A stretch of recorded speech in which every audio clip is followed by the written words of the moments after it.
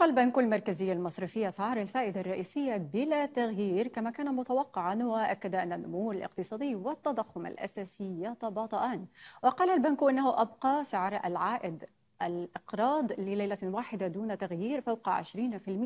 وقالت لجنة السياسة النقدية أن الاقتصاد نما خلال الربع الأول من العام الحالي بنسبة 3.9 أعشار في المئة.